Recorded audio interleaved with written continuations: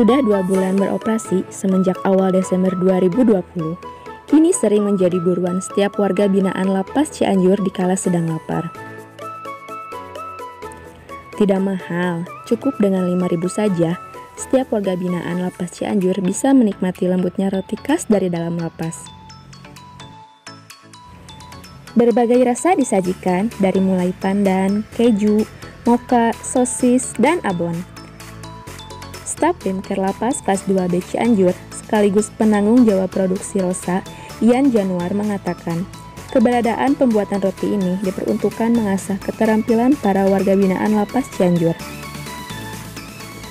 Dalam sehari, di ruangan berukuran sekitar 4 x 8 meter ini, bisa menghasilkan 200 roti dan laris di serbu warga binaan.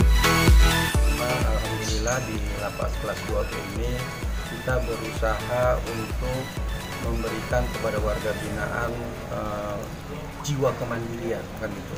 Jadi di sini ada pembibitan ayam potong, juga ada pembibitan lele, juga ada uh, kerajinan keterampilan perkayuan kan gitu. Terus juga alhamdulillah kita pada kesempatan dua minggu ini, dua sekitar dua minggu ini kita sudah juga uh, mengadakan sebuah rumah pabrik roti dan alhamdulillah juga ini produksinya juga cukup bagus. Kita dalam sehari bisa menghasilkan sekitar uh, 10 kilo. Kalau nggak salah itu 10 kilo bisa sampai 200 atau sampai 300 mix kan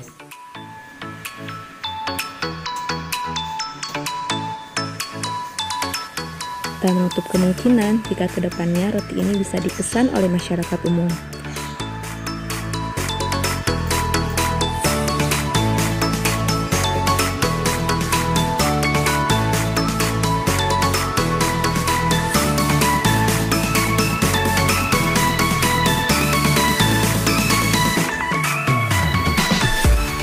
Nah, bagaimana? Penasaran kan roti lembut buatan warga binaan Lapas Cianjur ini?